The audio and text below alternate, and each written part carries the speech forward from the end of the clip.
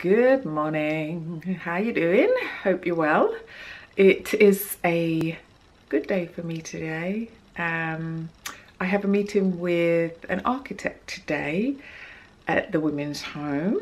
So um, yeah, in this video, I'm going to be updating you with what is happening with the house. I have some interesting updates for you. Um, it really feels like things are starting to kind of like get moving now. Um, yeah, and it's pretty scary. So yeah, there's a lot to do in a really short space of time. So I'm, I'm a little bit worried, but I have the faith, the belief that I can get this done. So I'm just on my way now to meet the architect. This is the um, third architect that I am hiring.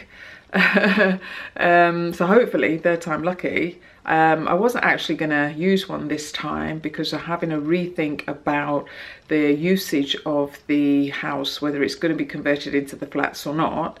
And of course, if it's not going to be converted into flats, then it doesn't need an architect as such because it becomes kind of a bit more of a straightforward renovation.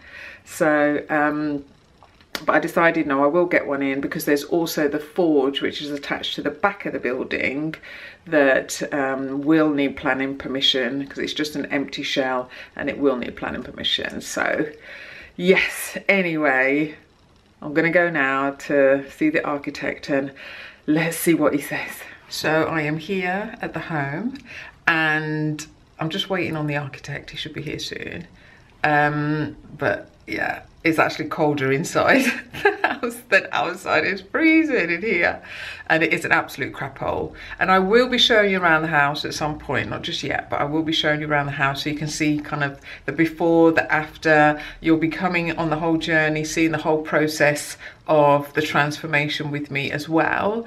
Um, but just to give you an update, so I've got a builder and um, I put down a deposit for the builder. So I had to put down a big deposit for the builder to hold the space for the summertime. Haven't got an exact date yet, um, but it will be in the summertime. Um, and I am rather nervous because now I need to really start finding the money and I need a whole heap of money.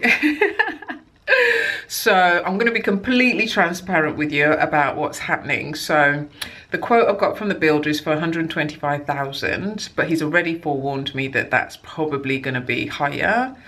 Um, and then when you add in a contingency as well, then you're probably closer to 200,000, I think, um, to get the work done.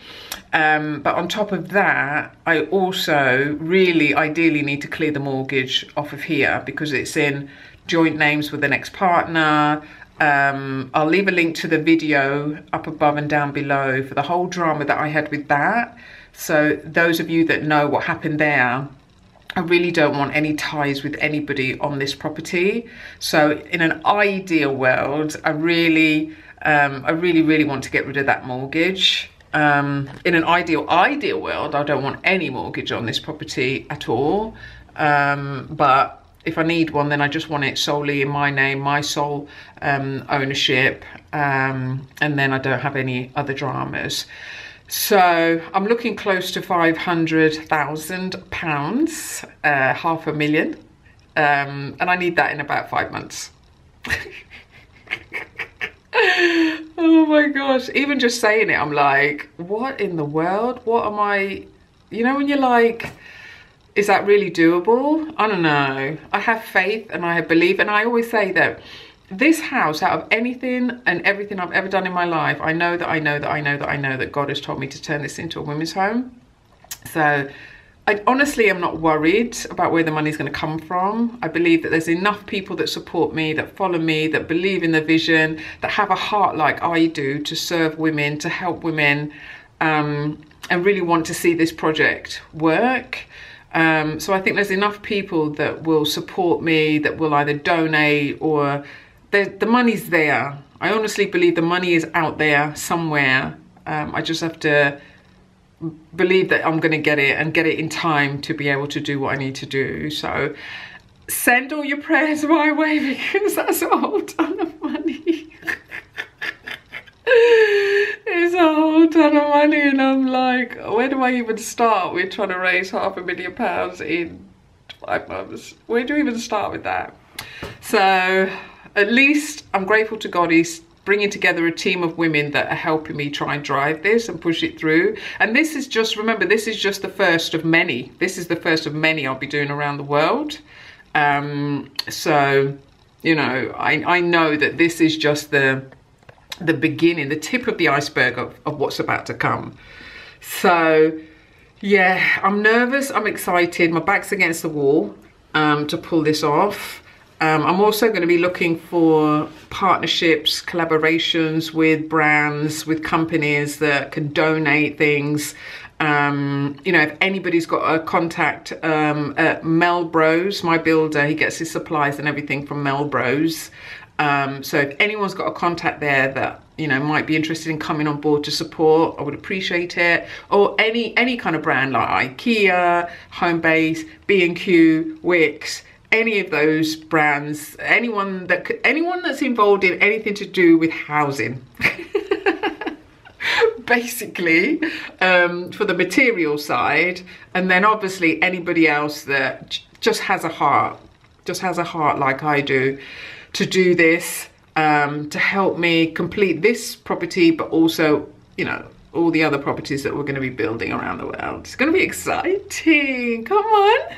Come on. I feel like you know what it is? I feel like I want to change the face of women's homes as well. Um, I want them to be a place that is just beautiful basically that we where we would want to live where we would want to go and something that inspires them to believe in what's possible once they've actually left the home. So they see the surroundings they see what's possible. And that's the other thing of what I want to do is I want to kind of help them on the whole journey of once they get to one of the homes not just once they've left but beyond that where do they live? How do they do that? So housing them permanently. How do they get on the housing ladder? Things like that. So yes it is a big project and I'm like, what in the world? If you'd have told me that I'll be doing this at age 50, I'd be like, nah.